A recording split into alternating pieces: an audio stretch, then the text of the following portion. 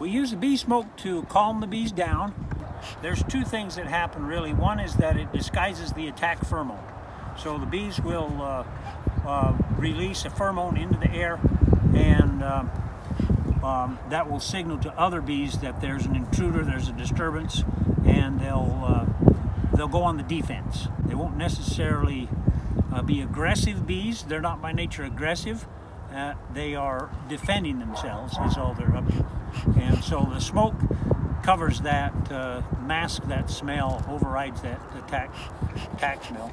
And then also the bees uh, instinctively think that they're going to need to, to uh, grab something to eat before their, their forest, their flower patch, or their tree burns down.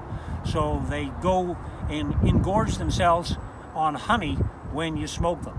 And when they're full of honey, they're busy doing something else and they're more docile, docile and they can't hunch over to sting you as well when they're full of honey. So that's uh, how a bee smoker works, why we use them in the beehive.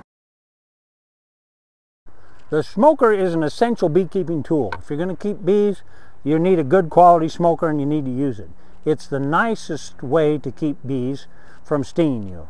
So if, if bees sting you, of course their stinger comes out, it's barbed, and when it comes out, it, they die. So fewer stings means that fewer bees die when you get into the beehive.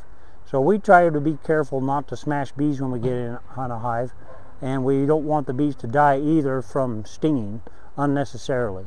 It's almost unavoidable to, uh, to prevent all stinging, but the smoker will prevent most of it.